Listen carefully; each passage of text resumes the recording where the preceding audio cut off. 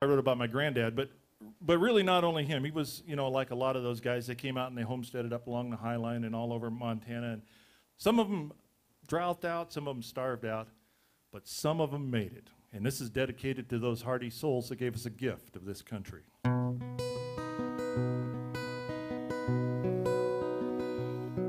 As Grandpa sat beside the barn, 90 years of living lined his face. He said, Lord, the sights I've seen, and Lord, the dreams I've dreamed, they're all wrapped up in this old place. I built this barn in 1901. The First year that I moved on to this place. Trees from down the draw worked that hammer and saw till sweat poured off my face. My life is reflected in the boards of this old barn. It's weathered and it's splintered, but hasn't lost its charm. It stands in quiet solitude through good times and bad. It holds all the dreams I ever had. First time that I kissed your grandma, harvest moon was shining through the door. Her eyes sparkle and they shine. I've seen them a million times. If I could see them just once more. Grandkids played up in the hayloft. Neighbors came and danced across the floor.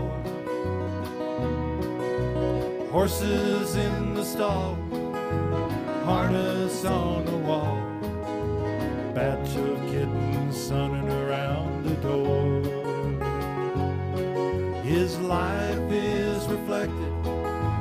of this old barn. It's weathered and it's splintered, but hasn't lost its charm. It stands in quiet solitude through good times and bad. It holds all the dreams he ever had. Time can tear a building to the ground. Roads can take a young man far away. It seems like when you're gone, it hasn't been that long. Grandpa passed away in 68. So when you're traveling down a rutted road, and some old barn shows up in your mirror.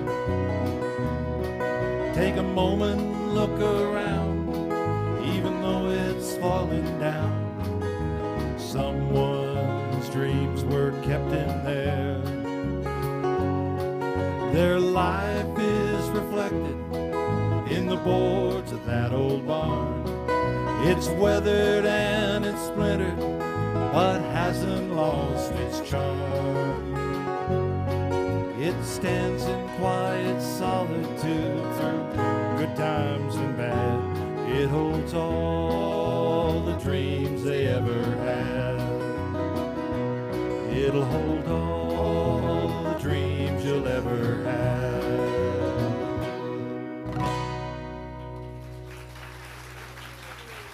Thank you. Thank you very much. Thank you.